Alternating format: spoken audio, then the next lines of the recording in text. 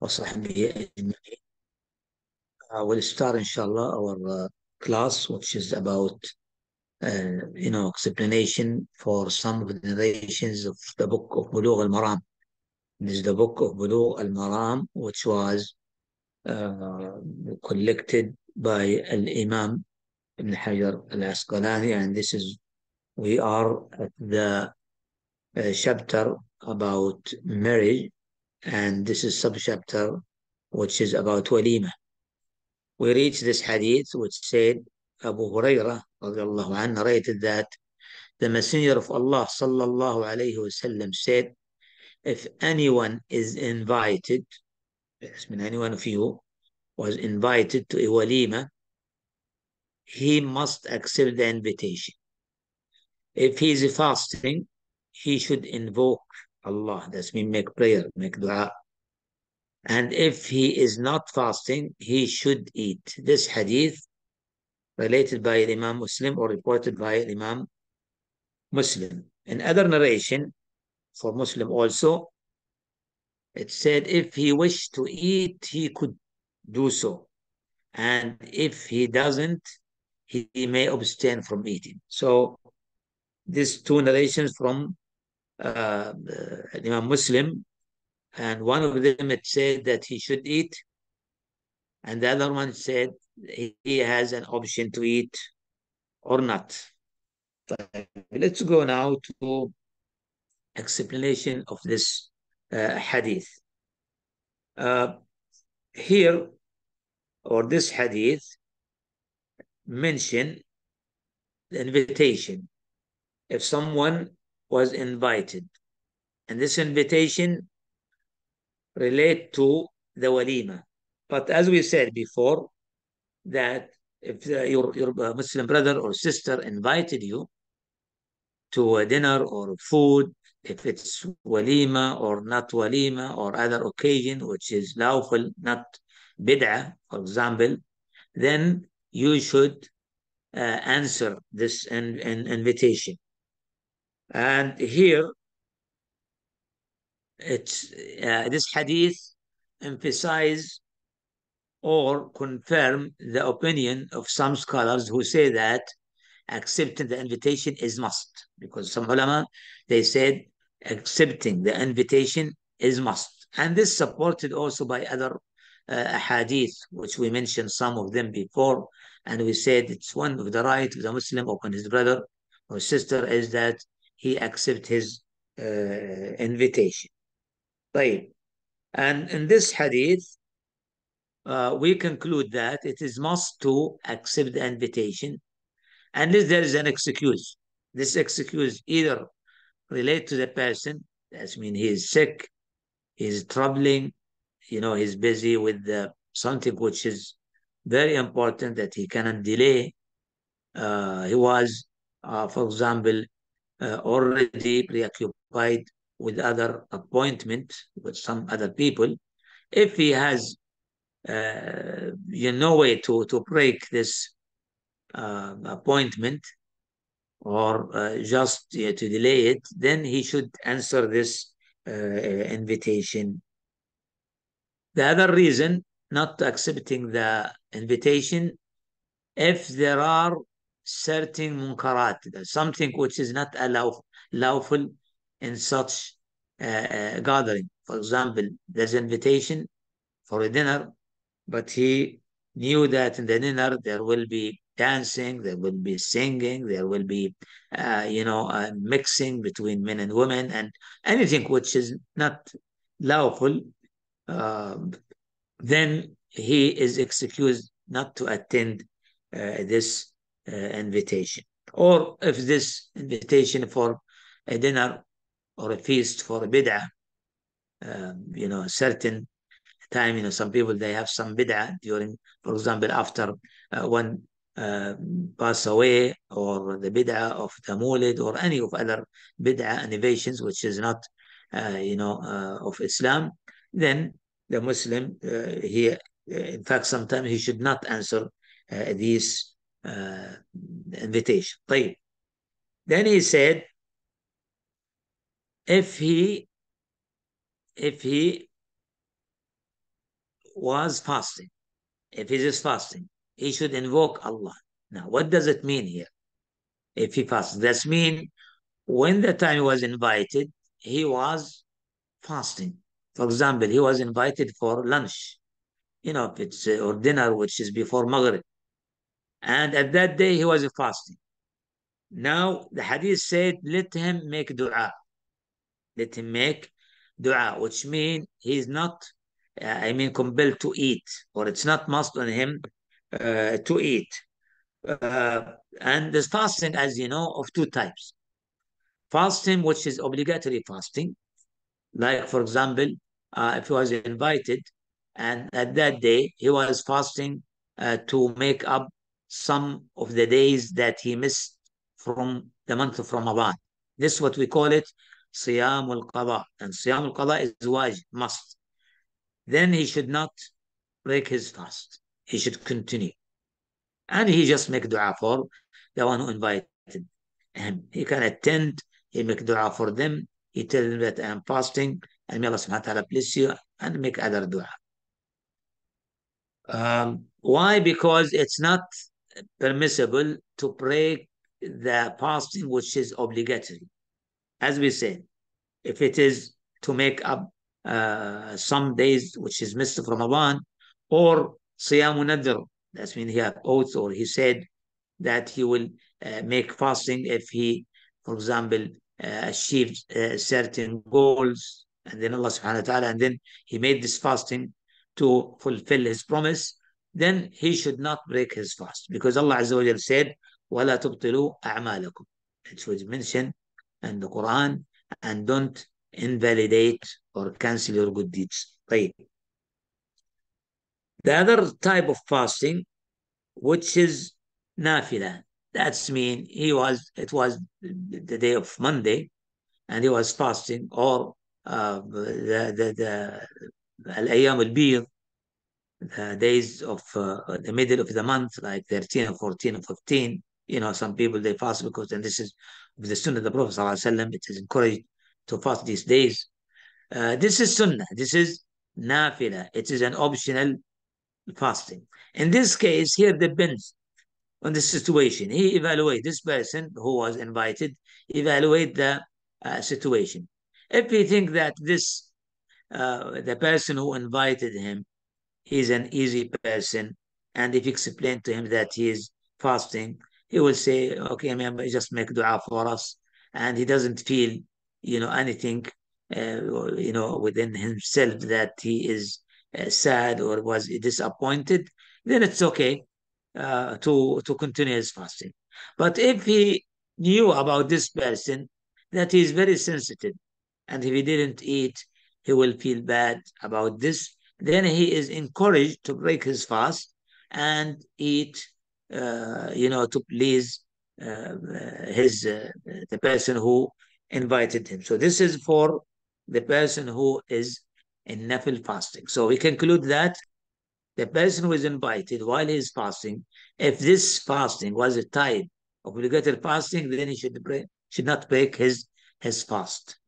If it was nafila, optional, then he have the choice of break the fast and eat, or he continue. And this, as we said, uh, depend on his valuation for uh, the relation or how this uh, person who invited him uh, will uh, receive uh, this and accept it. طيب. And then he said, the hadith, فَلْيُصَلِّ That's mean, let's him make a prayer or, or invoking. And we know uh, supplication uh, or make, you know, as it said here, he should invoke Allah. That's mean he make pray for them, he make dua for them, make supplication. Uh, this is a type of ibadah. This is a type of ibadah, which is an act of worship. And we know that we were, in fact, it is better, it is recommended that, you know, to hide uh, any acts of ibadah for the purpose of sincerity. So the person, when he hide the ibadah, he doesn't show off to the people that he is fasting. Okay, this is for sure because this, as we said many times, the fasting is the secret act of ibadah. Uh, but here he's in a situation that he should tell to um, ex excuse himself to justify why he is not be able to to eat. So it's okay. Also to making dua. This is ibadah. Uh, but sometimes uh, the ibadah, it's permissible to make it open and clear to others. There are certain ibadah that we, we, we, we do it openly, like, you know, when, when you recite the Quran in Salah or in, in Friday uh, ceremony, and also when you make, uh, uh, I mean, start the ritual of, of, of Hajj or Umrah. He said, Labbaik Allahumma Umrah or Labbaik Allahumma Hajjan. All this is, uh, it's okay to, to make it uh, clear and um, you, could be noticed by, by others. And here we learn that sometimes uh, the ibadah, even it is secret type of ibadah, it's okay to exclude and make expose and, and, and let people know about it if there is uh, some benefits from doing this. As we said, like in this situation, this person was invited you. He expected from you that you will eat. So when you come, you know, and sit and you don't eat, maybe he'd be upset. But if he knew that you are fasting, will may accept your your excuse. Right. And uh, the next, the other hadith, there are two hadiths. One of, of, of them said, or two narrations, and both are uh, was reported by Imam Muslim. Uh, the the one that we are uh, studying here, it said, and if he is not fasting, he should eat. Other narration, which is from Jabir, uh, it said, if he wished to eat, he could do so, and if he doesn't, he may abstain from eating. And as we said, this both, I mean, narrations is we could uh, there is no contradiction here. As we said, this depends on the situation uh, and the, your evaluation for the response of the one who invited invited you. طيب. The next hadith, which was narrated by Ibn Mas'ud radiallahu anh, uh, who said that the Messenger of Allah وسلم, said, the food of walima on the first day is the duty, that on the second day it is sunnah, while the third is showing off. This means holding, doing, uh, showing off. So this is uh, the hadith.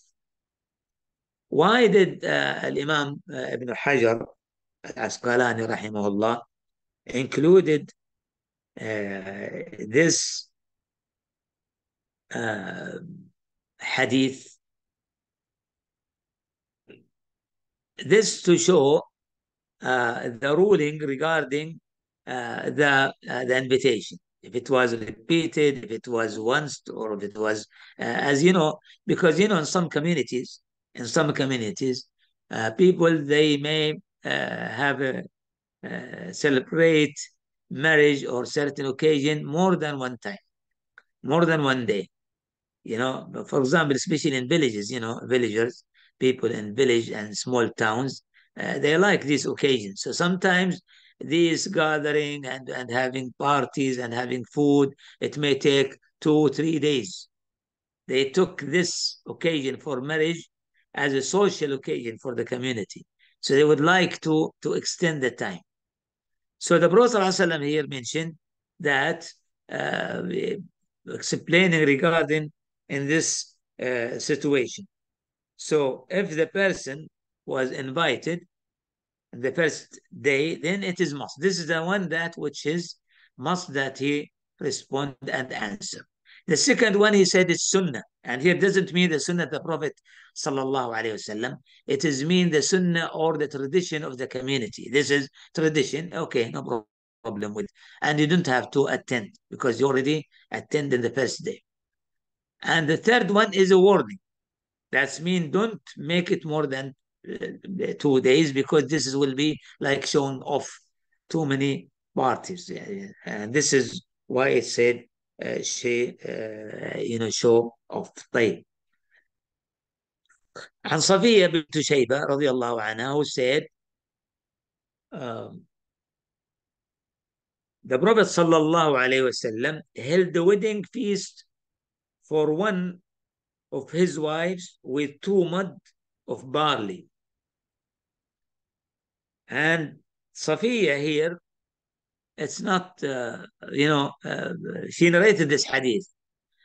But some ulama, they said this Safiya ibn Shayba is not one of the companions. She was from the successor, from At-Tabi'in. Therefore, the hadith will be considered as hadithun mursal, not related or connected to the Prophet sallallahu alaihi wasallam or any of the Sahaba. But it is it is not mawquf. You remember we said it is not uh, uh, mawquf if it was by one of the Sahaba. But this lady, some ulama, they said uh, she was uh, one successor, not of the companion. Other scholars, they said she was from the companion. Therefore, they consider this hadith as as mawquf. طيب. Why this hadith was mentioned or included by Imam Ibn Hajar in this book? Here to, to show what type of food, okay, uh, or how much it should be for uh, the walima. So we learn from this hadith. Also, just to mention here, uh, some Ibn Hajar, rahimahullah, he said, I traced this hadith to find out because the hadith said when he married one of his wife and the name of the wife uh, in this marriage was, was not mentioned here. So in, in, in other place, Ibn Hajar said, I traced this hadith to know who was this wife and he said she was Umm Salama radiallahu anha when the Prophet ﷺ married Umm Salama and this is what uh, this is the way that he celebrate or give the walima for her uh, marriage. Uh, we learn from this hadith uh, that walima or, or having the feast or invitation for food, in fact, this is one of the of the way to announce marriage. We said before that the marriage should be announced and should not be kept secret, that the whole community they knew they should know about this marriage. One of these way, which is will be well known for everyone about this marriage, is by having uh, walima. Also, we learn from this one, he said two mud. And two mud, remember, it is half of a sa', which is um, around uh, maybe two kilo uh, or, or so.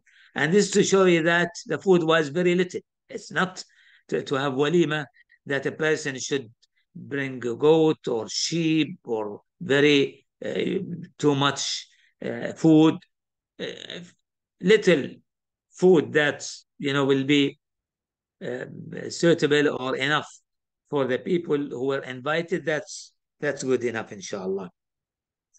And this also uh, because you know sometimes in other uh, narration, the Prophet ﷺ, when he married Zainab radiallahu anha, radiallahu anha, he uh, made walima with one sheep, with a sheep or a goat. He slaughtered a goat. So this is, it's different. And the Prophet ﷺ, when he do uh, the same thing in different way, this to teach us. So in one time, he slaughtered a sheep to show that this is, it's okay to have a sheep and to have big feast. Other made it in this way in mud, which is very little to show that it is also enough to have walima of this little food if it was enough for uh, the people you, inv- you invite. And, you know, a person, when he uh, invite people, he will invite people to, uh, to uh, that, you know, depend on the food that he has or his ability of preparing enough food for them. Also, it said here barley, okay, and you know the barley, which is very uh, for, for, many many uh, people, it's not that high uh, standard food for them. Um, but at that time, to show you the situation uh, in Medina and the life of the Sahaba, they used to live very simple life. They don't have that much uh, money or, or very expensive food.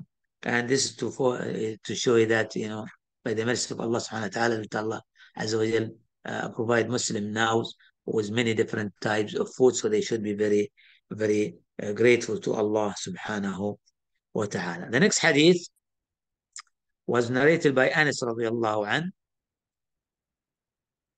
who said, the Prophet sallallahu alayhi wasallam, uh, the Prophet sallallahu alayhi wasallam, or the Messenger of Allah sallallahu alayhi wasallam, uh, stayed three nights at place between Khaybar and Medina, between Khaybar and Medina, when he consummated his marriage to Safiya, Safiya bint Huyay ibn Akhtab, you know this.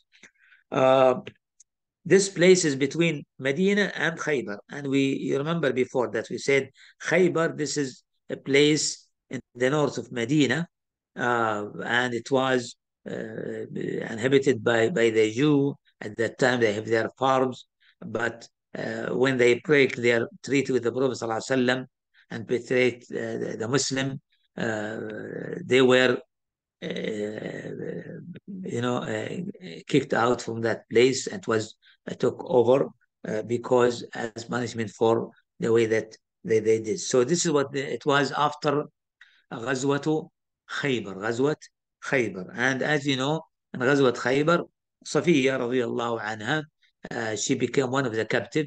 Then the Prophet ﷺ gave her her freedom uh, and then he married her. And we already uh, discussed this uh, before.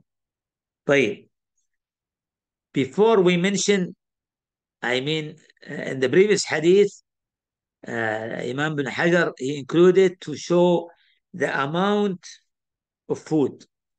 And this hadith included to show the types of food. So this is what he uh, what he said.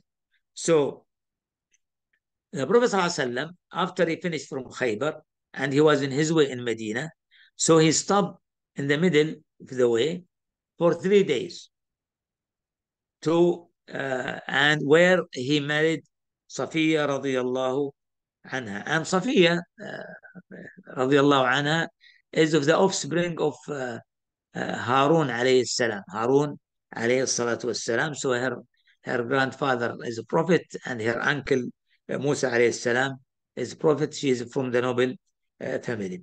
And as you notice in this uh, food that was presented here, uh, as it said here, the Muslim walima, it was only that the Prophet ﷺ ordered that some dining sheet be sprayed. Some dining, this, this sheet was of leather. It's like a sufra, but it was made of leather. And what was the food for that walima was only dates and aqt. And the aqt is the dried uh, buttermilk. You saw uh, the, the, Bedouin or the Arabs at that time, what they do, they take this uh, buttermilks and try to dry it from water so it's become like stone, you know, but it is very soft. Uh, in this way, they can keep it for for long time because they don't have the refrigerator at that time to keep the milk. So they use this way. So it's become called aqt and it's still, uh, you know, available now in some area. Sometimes they call it aqt, which is, uh, and sometimes they call it madir also. Madir, other other name for this dried uh, buttermilk. Right. So this is the food which was also known at that time, and some butter or some uh, oil. Uh, so this to show you the types of food that could be served uh, in the walima as before. Right, we learn from this also uh, some lessons. First of all, to show you how life, the Muslim is easy, and Allah subhanahu wa ta'ala made it very easy. I mean, this life uh, is very easy. That's, you know, even during your journey, you can make a marriage, for example. Uh, it's not necessary that you have or delay your your marriage uh, till you return to a certain place. If all, uh, you know, if the situation will allow that uh, this marriage to be concluded, then let's go. There's no need to delay or to wait. Unless this trip, if you, you know this, it was a trip of Umrah or Hajj. Why? Because, you know, one of the things that invalidate ihram is to uh, marriage or to making contract of marriage.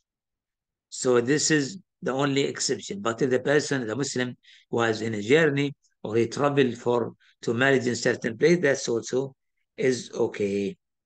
Also, we learn from this that it's not must that the person or the one who invite uh, is the one who uh, the groom or the family uh, of the person who is going to to marry. Maybe anyone of his maybe a neighbor will help him, any of his friends, any of his relatives. He can prepare this walima and invite people in his name. Right. And also we learn from this that it is not must to uh, slaughter a sheep or to have meat on the walima. Because some people, they took the hadith that the Prophet ﷺ said to Abdul Rahman ibn Awf, he said, أَوْلِمْ وَلَوْ بِشَاءٍ that's mean uh, have you should make walima even with one shah. They thought that it is must uh, for the one who make walima that he make it uh, with sheep, but it's not must according to this hadith. The next hadith, uh, companion, one of the companions of the Prophet ﷺ narrated that the Prophet ﷺ said, when two people come together to issue an invitation, that's mean you were invited by two people, then accept that one whose door is nearer to you. However, if one of them comes before the other, accept the invitation of the first. Now, you were invited by two of your friends. Now, there is two scenarios. One of them, that one of them invited you, and the, the other one invited you later, the next day. In this case, you answer the invitation of the one who invited you first. But let's say that both of them, they invited you at the same time. And you want to please both of them. What should you do? Or, or, which one that uh, you should go or choose between them? According to this hadith, you should uh, uh, answer the invitation of the one who is near to you.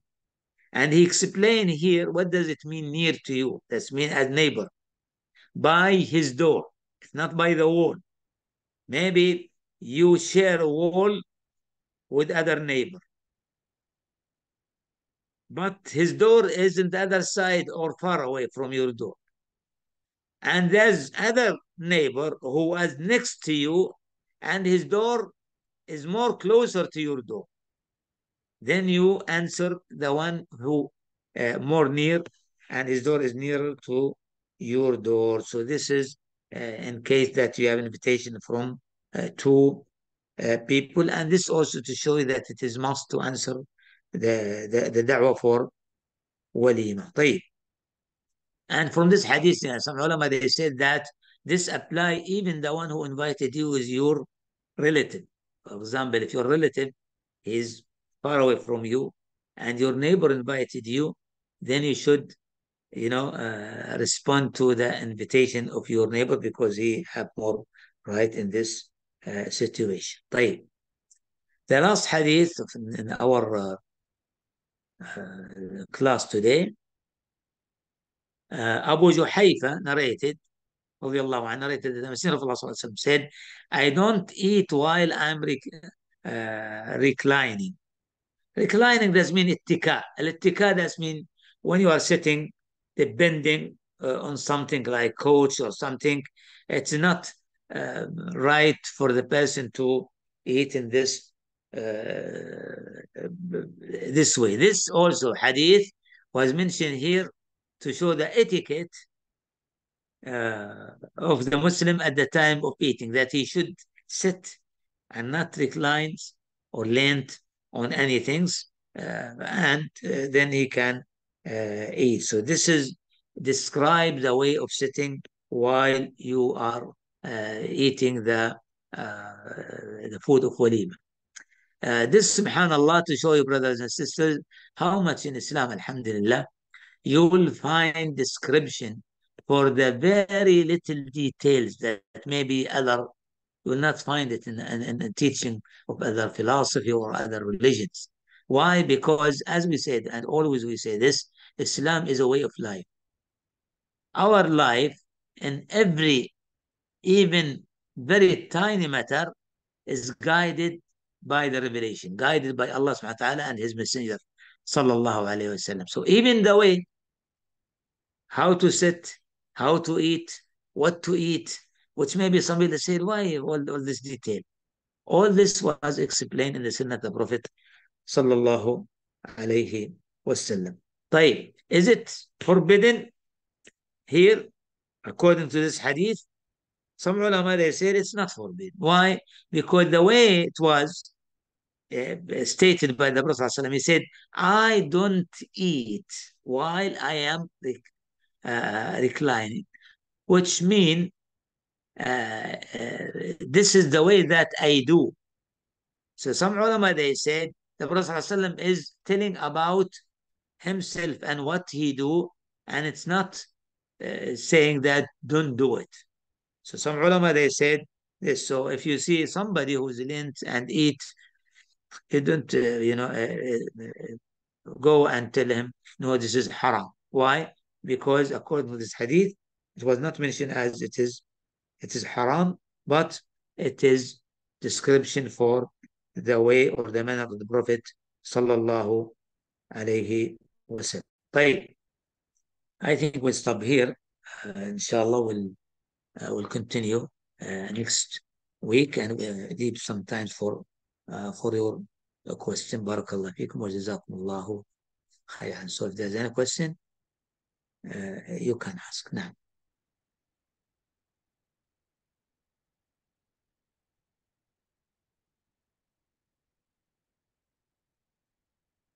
طيب. MashaAllah. No questions? Okay. So if there's no question, then we'll we'll stop. Jazakumullah khair. And uh, is there any book, any uh, question, sister, in the chatting box? السلام عليكم ورحمة الله دكتور نعم دكتور يحيى وعليكم السلام ورحمة الله وبركاته. نعم. Okay. Jazakumullah khair. May Allah subhanahu wa ta'ala reward you all for attending. May Allah subhanahu wa ta'ala increase us all in the knowledge of the deen. And may Allah subhanahu wa ta'ala help us to live our life according to the teaching of the Quran and following the Sunnah of the Prophet sallallahu alaihi wasallam. May Allah bless you all. May Allah bless you all and your families and all the Muslim. May Allah subhanahu wa ta'ala forgive us all and forgive the Muslim, the living and the dead. Wa jazakumullah khair. And see you inshallah uh, next week. Wassalamu alaikum wa rahmatullahi wa barakatuh.